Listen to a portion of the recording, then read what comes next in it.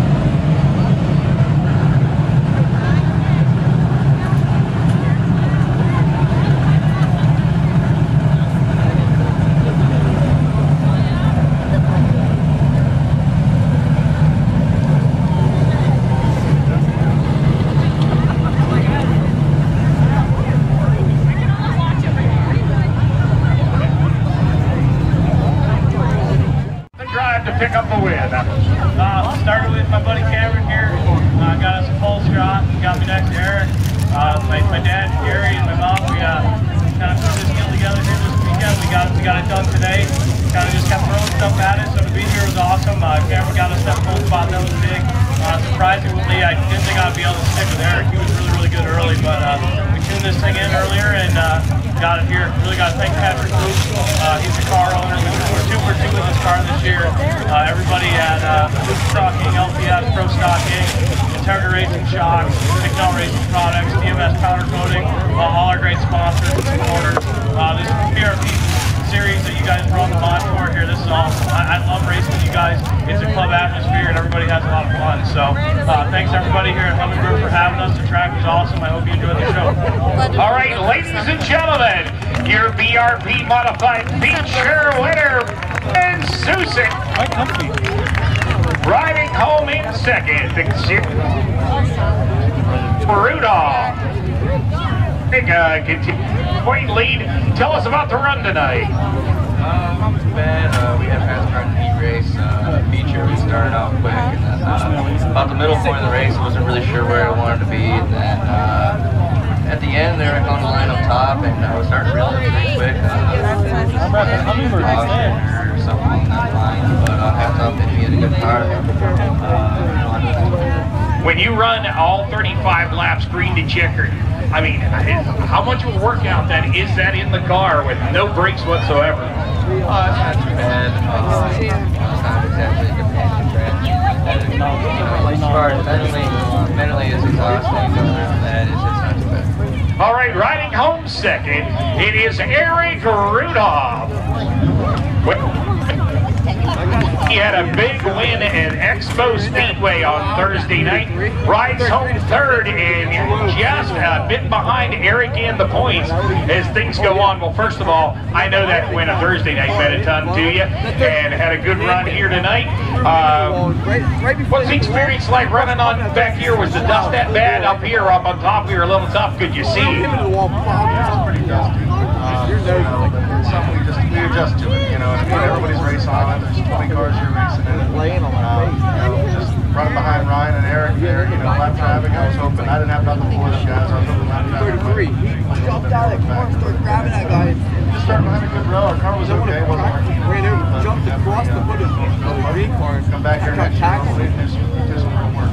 All right, ladies and gentlemen, your third player, Cooter King. Uh, I don't know, but I mean, that 33 or that 3. Then he just turned into him all